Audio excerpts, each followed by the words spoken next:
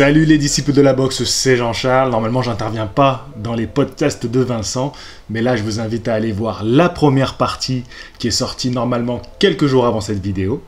Elle m'a demandé pas mal de travail et de retravail parce qu'ils m'ont bloqué une séquence. Les enfoirés C'était juste quelques secondes du combat entre Tyson Fury et Deontay Wilder. Ils m'ont bloqué ça, donc j'ai dû mettre des photos. J'espère que cette vidéo-là n'aura aucun souci. Donc c'est parti pour la deuxième partie du côté obscur de la boxe.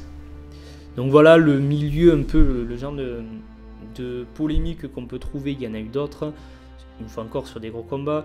Je l'avais évoqué en vidéo avec JC, mais euh, le fameux combat entre Alexis Arguello et, euh, et Aaron Pryor, avec cette fameuse bouteille noire, où Aaron Pryor, entre le 13e et 14e round, retrouve un coup de tonus après que euh, son entraîneur Panama Lewis demande à boire au coin et quand il met une bouteille, il dit non, non, pas celle-là, et on lui donne une bouteille noire, et ça revigore euh, Aaron Pryor. Alors évidemment, ça à l'époque, ça avait fait beaucoup de bruit. Ils avaient demandé, le clan Arguello avait demandé l'ouverture d'une enquête qui n'a pas été, qui n'a pas abouti à ce moment-là. Euh, aussi, on a noyé le poisson, je pense, parce que une semaine après, je crois, ou le lendemain, c'était juste qu'il y a eu la mort du boxeur Doug Cookie euh, dans le combat contre Remantini, donc ça a un peu détourné le, débat de cette bouteille noire.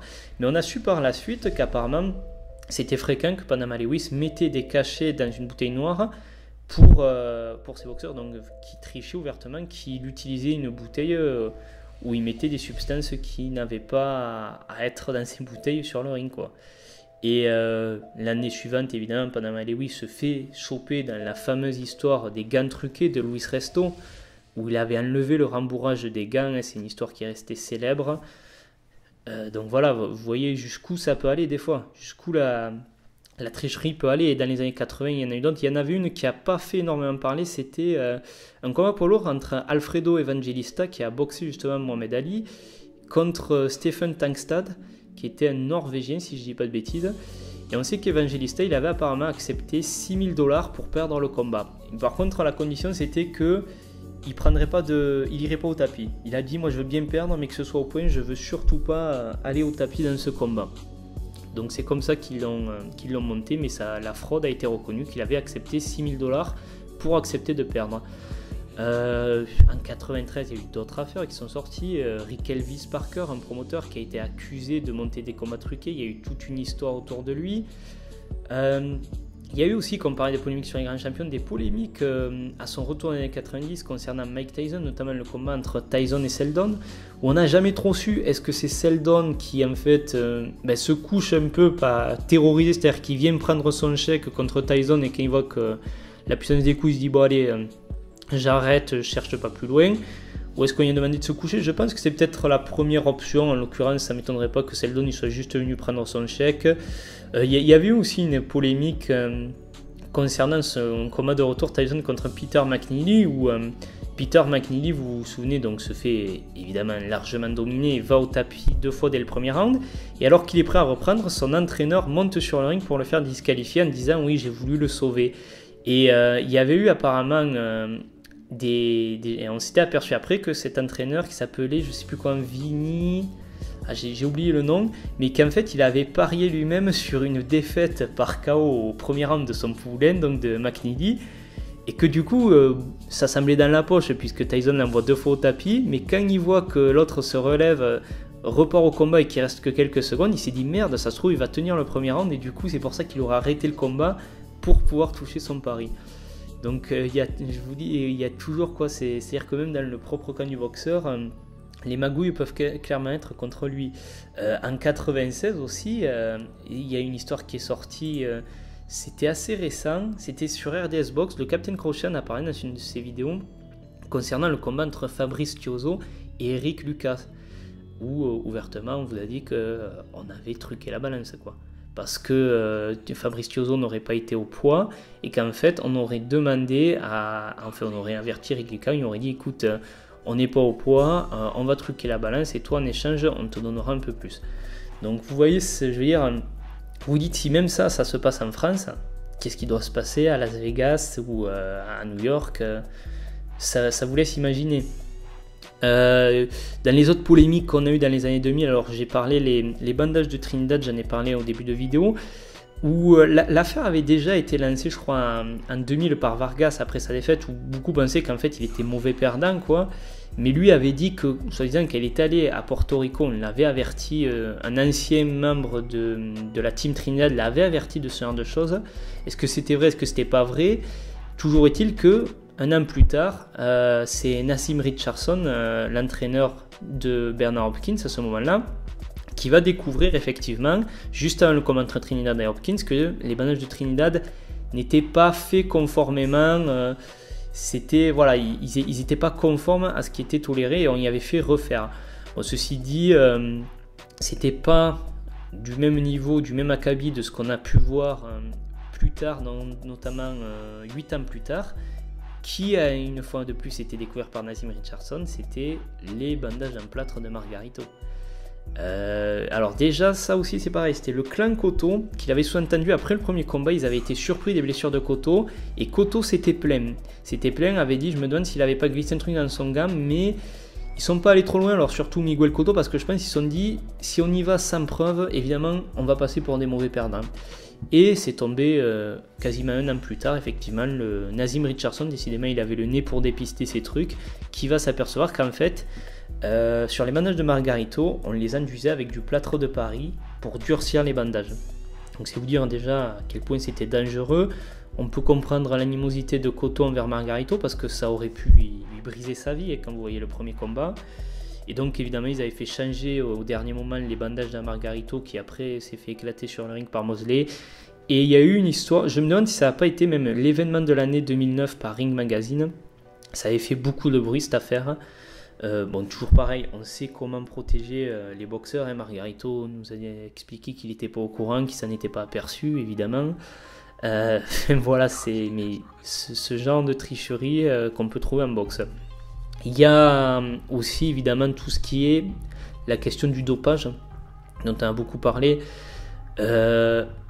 dans les années 90, on en a parlé, euh, que ce soit avec Mike Tyson qui sort de prison euh, plus musculé que jamais, que lui-même a reconnu dans un livre qu'il utilisait un faux pénis pour les contrôles. Alors, beaucoup diront oui, mais c'était pour cacher euh, des drogues illicites, certes, mais quand tu as tu peux dire que c'est pour cacher autre chose. Holyfield, évidemment, Holyfield en a parlé, la transformation physique d'Holyfield.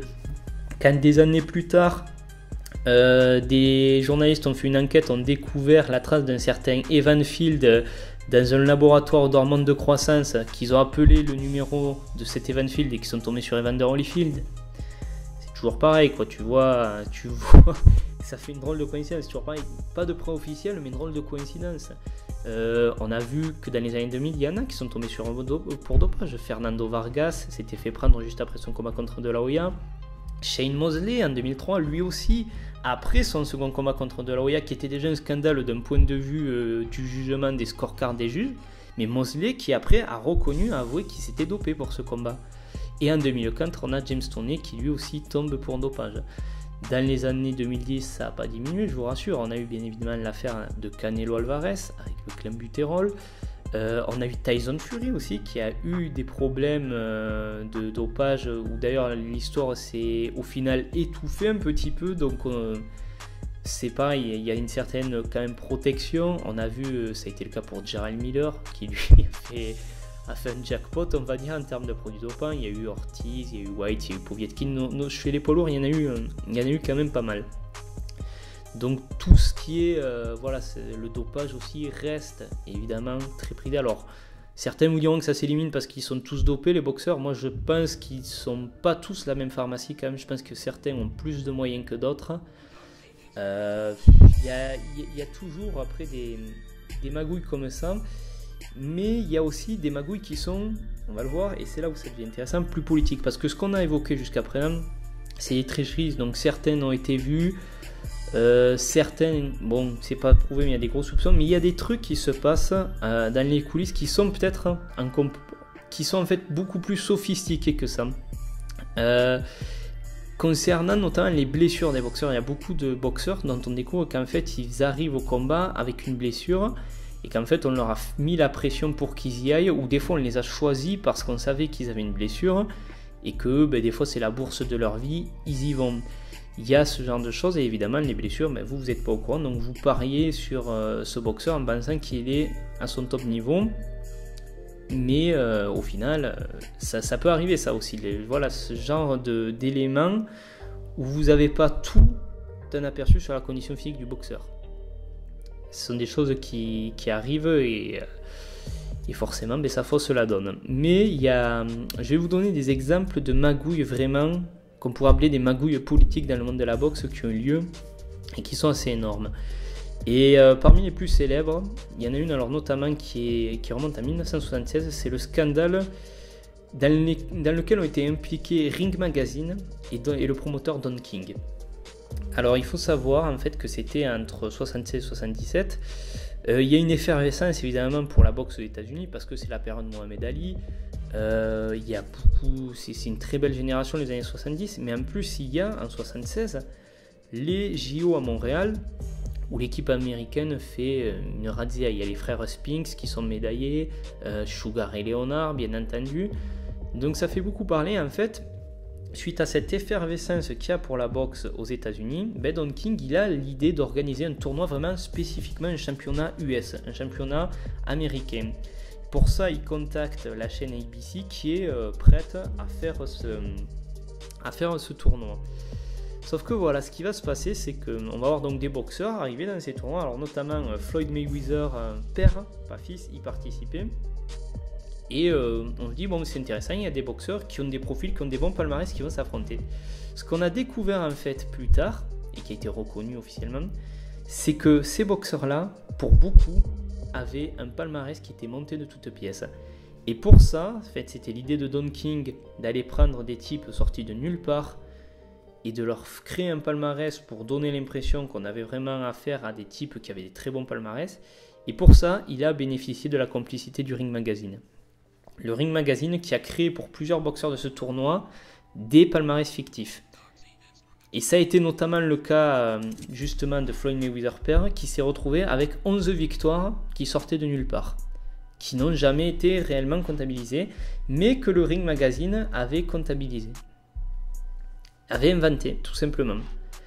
Et ce qui est très, euh, ce qui est très intéressant aussi, c'est que ces combats avaient lieu dans des endroits un peu improbables. C'est-à-dire que on l'avait fait, euh, notamment, il y avait des combats qui devaient avoir lieu sur un porte-avions, il y en avait dans le campus d'une académie navale et il y en avait en prison. Alors, Don King avait dit ça en disant euh, Oui, c'est bien parce que c'est original, c'est original, vous voyez, c'est pas une simple arène, là ça se passe dans des lieux un peu improbables, c'est sympa. Sauf qu'en fait, il y avait une raison à ça c'est que tous ces lieux étaient hors du champ d'action de toute juridiction de commission athlétique d'État.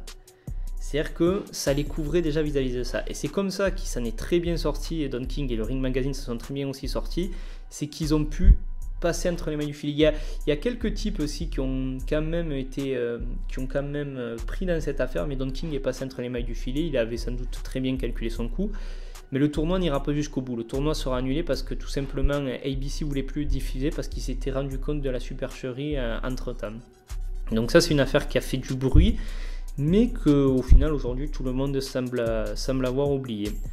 Euh, dans les autres grandes magouilles politiques qui ont fait du bruit, c'était en 99. Événement de l'année d'ailleurs par Ring Magazine, c'est le scandale de l'IBF. L'IBF qui en fait, on s'est rendu compte depuis sa création, recevait des pots de vin pour faire les classements. Et on sait que notamment, par exemple, quand elle a été créée par Robert Lee en 1980, enfin, elle avait été créée entre 83 84, je crois, l'IBF. Et déjà, pour son, pour, au moment de sa création, au moment donc où elle sort, pour établir son premier classement, son tout premier classement, on sait qu'ils ont reçu 338 000 dollars pour faire le classement en fonction de ce que leur disaient les promoteurs. Il y a eu un pot de vin de, 338 000 dollars pour le premier classement. Donc déjà, la Fédé partait sur de bonnes bases, j'ai envie de dire. Et on sait que pendant 13 ans, ils vont constamment recevoir des pots de vin et dans cette affaire ont été impliqués, quand c'est sorti en 99 que la commission d'enquête a tout dévoilé, ont été impliqués Don King, mais également Bob Arum. Il y a un exemple d'ailleurs frappant, c'est Bob Arum à l'époque en 95, quand Foreman venait de prendre le titre l'année suivante face à Michael Moore. Pour le défausser de toute défense officielle contre les gros challengers. Ils ont réussi à le faire combattre contre euh, Axel Schultz, où il va gagner d'ailleurs euh, au poil de cul, formant sur une décision euh, controversée. Mais pour faire passer Schultz en tant que challenger, on sait que Bob Arum a versé 5000 dollars à l'IBF. Aujourd'hui, Bob Arum, c'est encore l'un des promoteurs les plus amis. Don King, autant lui, sa réputation a fini par le rattraper et tomber, mais Bob Arum, lui, visiblement, il n'a pas été plus inquiété que ça, alors que c'est officiel qu'il a versé des pots de vin. Et Robert Lee, le président de l'IBF, a été condamné à 22 mois de prison et a versé 25 000 euros d'amende dans cette affaire. Alors, ce qui est intéressant là, c'est que ça, ça s'est passé pour l'IBF. L'IBF s'est fait prendre la main euh, dans le sac. Mais vous imaginez bien que ça, ça se passe avec les autres fédés. Et la WBC, il y a eu des gros soupçons de fraude au niveau de pots de vin versés, que ce soit de la part là encore de Bob Arum et de Don King. On a vu des classements parfois aberrants. Donc oui, l'IBF, c'est ceux qui sont fait pincer. Mais ce système de pots de vin, je veux dire, quand tu vois que l'IBF, dès sa création, euh, se fait alpaguer par les promoteurs qui leur versent des pots de vin pour faire le classement, vous vous doutez bien que c'est un système qui était déjà en place depuis un moment. Donc c'est là que vraiment, vous voyez, il y a quelque chose derrière qui se passe, outre le fait que tu mettes des bandages truqués, qu'un adversaire se couche, ce qui, euh, effectivement, comme on va le voir aujourd'hui, est de plus en plus difficile à mettre en place. Ça, c'est un peu, je dirais, euh, l'arnaque grossière, l'arnaque du débutant aujourd'hui, mec qui se couche. Si c'est un des, des, petits combats, bon, ça va intéresser personne, mais fais ça à une grande échelle, avec les ralentis, tout ça, on peut le voir. Gant aujourd'hui, euh, par rapport là pour revenir sur la polémique entre Wilder et Fury, c'est plus compliqué. Il y a beaucoup plus de contrôle. Aujourd'hui, les méthodes pour euh, tricher sont beaucoup plus sophistiquées que ça.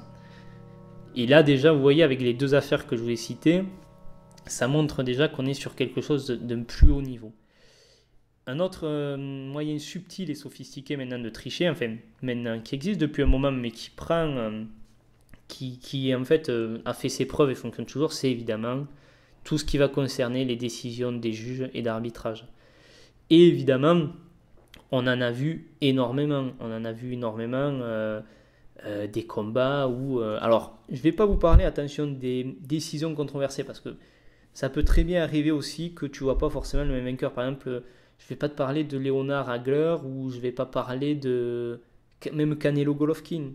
Parce que même si tu n'es pas d'accord avec la décision, tu peux dire, allez, d'accord. Euh, enfin, si, par contre, si Canelo Golovkin, je peux en parler sur le, la scorecard des normes de Adelaide Bird. Mais on peut faire ça aussi, remarque, pour Agler Léonard, où il y a un juge qui donne 118-110 en faveur de Léonard. D'ailleurs, petite anecdote marrante, et qui va aussi nous permettre de, de voir à quel point euh, on est dans de la magouille politique. Euh, le juge qui a donné 118-110 à Léonard à la base n'était pas prévu. C'était un juge anglais qui devait euh, scorer le combat et le clan Hagler donc, euh, a demandé à Bob Arum ouvertement, au promoteur a dit non non on veut veut pas de juge anglais, on préfère un juge américain. Donc le juge anglais au dernier moment il est éclipsé et on a mis ce juge dont je me souviens plus le nom. Paradoxalement, il a été donc mis là sur la demande du clan Hagler, et c'est lui qui va donner la scorecard faramineuse à Léonard. C'est tout le paradoxe. Et alors que l'anglais, justement, interrogé plus tard, avait scoré le combat, je crois, pour un média anglais, il avait donné à Hagler. Donc c'est assez marrant, mais ce qui est fou dans cette histoire, c'est que vous voyez que, ouais, on peut. Euh, le boxeur, le clan du boxeur peut dire avec son promoteur Vous avez désigné ce juge, ouais, non, nous ça nous plaît pas, mettez-en un autre. C'est-à-dire qu'on peut choisir les juges. Euh, la fédération n'intervient même pas là-dedans, quoi, presque. C'est juste, on peut, euh, on peut choisir, euh, ça a été vu avec les arbitres, par exemple, un exemple, c'était en 97 lors du combat revanche entre Evander Holyfield et Mike Tyson. À la base, c'était Mitchell Pern qui devait arbitrer ce combat. C'était lui d'ailleurs qui avait arbitré déjà le premier combat entre Tyson et Holyfield. Et le clan Tyson, son manager de l'époque, je ne sais plus comment il s'appelait, euh, le manager de Tyson, euh, très lié à du coup, euh, qui, pétait d'ailleurs souvent des, plombs dans ses interviews. Et ce mec-là, en fait, a fait une demande pour qu'en fait ce ne soit pas Mitchell Pern, parce que ça rappelait un peu à Tyson trop le premier combat, que ça aurait été un peu un, mauvais souvenir d'avoir le même arbitre qu'au premier combat. Et euh, bon, la commission du Nevada a un premier temps refait, mais en fait, Mitchell Purn s'est de lui-même retiré en disant qu'il avait subi des pressions, et c'est au final Mills Lane qui arbitrera le, combat. Et pour vous dire, c'est-à-dire que en fonction de où tu es loti, avec quel promoteur tu es, tu peux choisir les juges et tu peux choisir les arbitres. Et euh, ce système euh, a mené évidemment que ce soit des décisions scandaleuses on peut parler évidemment, euh, moi de ce qui me vient en tête, Pernell Whitaker contre euh, Julio César Chavez euh, Jr., le match nul sorti de nulle part, Ali versus Norton 3, qu'est-ce qu'il y a Mosley contre De La Hoya, le deuxième combat je parle, De La Hoya contre Félix Sturm, il y en a eu plein. je pense à une alors qui est, où il n'y a pas forcément, en termes de juge c'est pas forcément scandaleux, mais Lomachenko Salido. ça c'est un cas d'école. Salido qui arrive déjà à la pesée, il est pas au poids. Le lendemain matin, le combat a lieu. Euh, donc Lomachenko, pour moi, gagne le combat au point. Les juges le donnent à Salido, mais surtout l'arbitrage. Salido, il a fait tous les coups qu'il pouvait. Quoi. Coup bas, coup de tête, accrochage, il y avait la totale. L'arbitre n'a jamais bronché. Même les, je me souviens qu'à l'époque, les commentateurs américains étaient choqués. Quoi. Donc vous avez ce genre de décision. Et ce qui est fou en fait avec ça, c'est que ça a toujours un peu existé. Mais maintenant, j'ai l'impression que c'est en fait devenu carrément ancré dans les mentalités. Ça fait partie du jeu.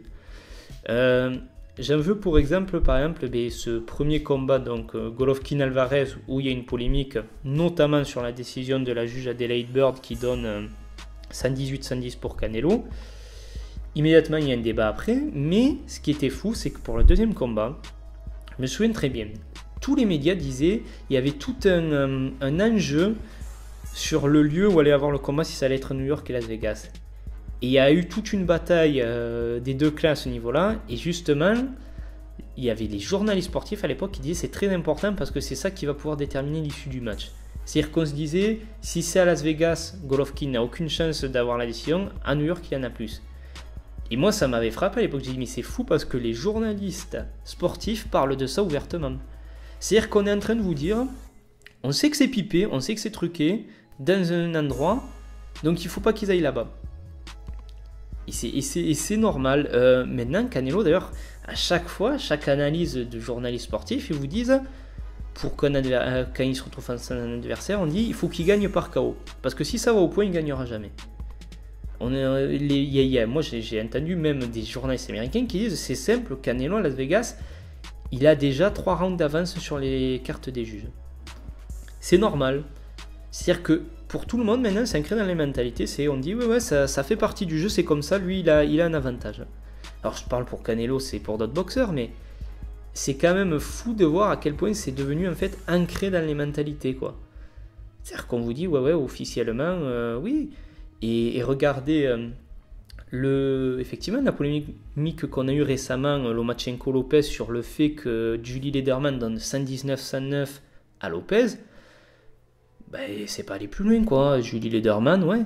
Parce que c'est très difficile aussi, enfin, c'est difficile. C'est-à-dire qu'officiellement, c'est un jugement subjectif. Donc, Julie Lederman, elle peut très bien vous dire Ah oui, mais moi, je, subjectivement, c'est mon avis, je voyais ça. Donc, c'est là où il y a aussi, euh, où ça coince, si vous voulez, mais je veux dire, il y, a des trucs qui sont énormes. Euh, et, c'est très intéressant parce que d'ailleurs, pour vous montrer à quel point c'est ancré dans les mentalités, c'est que hum, quand il y a eu ce combat euh, Lomachenko-Lopez, il y a beaucoup de gens que donc ça a réagi sur les scorecards, que ce soit le 117-111 ou le 119-109 de Julie Lederman. Et il y a des gens qui ont dit oui, oh, euh, vous pinaillez là-dessus, mais au final, le vainqueur c'était Lopez, c'est lui qui gagne, donc ça change pas grand-chose. C'est pas très grave. Bon, le vainqueur Lopez, bon, pour en discuter à la limite, moi personnellement, j'ai un match nul.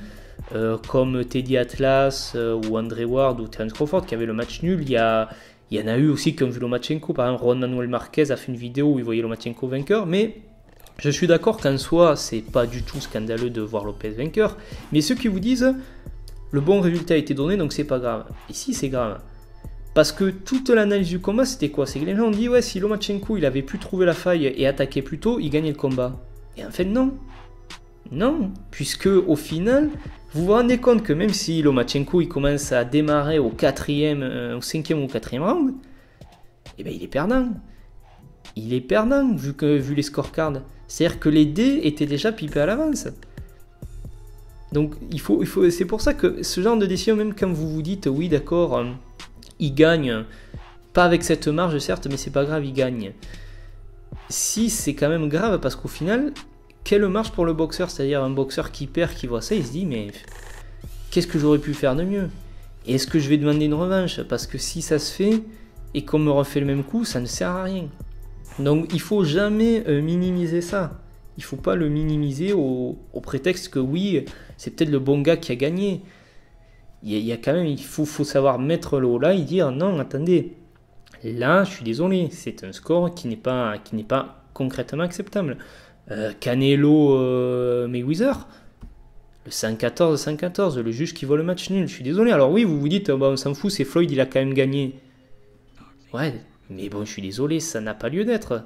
Surtout que ce juge, quand tu vois qu'il est capable de donner des scorecards comme ça, euh, si c'est pas Floyd en face, euh, que le mec qui fait un beau combat, ben, tu sais qu'il perd. Ce gars-là, il va pouvoir continuer. Je veux dire, Adelaide Bird, vous avez l'exemple. Adelaide Bird, la scorecard qu'elle rend scandaleuse contre euh, Golovkin Alvarez, c'était pas sa première et c'était pas sa dernière. Souvenez-vous la vidéo qui avait fait le buzz où Sergio Mora après un combat, le donne perdant et c'est lui qui, à la fin du combat, vient expliquer comment scorer les, cartes. Mais, je veux dire, c'est fou, ces gens-là, il faut, faut les détecter, il faut les empêcher de continuer à juger, c'est tout. Il faut, il faut pas minimiser ça. Et aujourd'hui, c'est devenu quelque chose qui est ancré dans les mentalités. C'est ça qui, qui est fou. C'est-à-dire qu'on le sait, on se dit, on part du principe, ouais, ça a lieu là, ah bon, ok machin, il a juste à, faire les 12 rounds et il aura la décision des juges. Et ça, euh, des décisions euh, euh, scandaleuse, on en a de plus en plus. Moi, je trouve, si vous regardez ces dernières années, euh, il n'y a pas beaucoup de combats où il n'y a pas de polémique. Moi, je le vois quand je regarde avec des gens euh, qui sont pas forcément des fans de boxe, je les intéresse. Des fois, ils me disent, mais ça existe un combat où il n'y a pas de polémique, honnêtement, d'arbitrage ou de. Parce que c'est à chaque fois, c'est énorme, quoi. C'est énorme. J'espère que ça vous aura plu. Et on se retrouve d'ici quelques jours pour la troisième et dernière partie. Je vous dis à très vite Fighting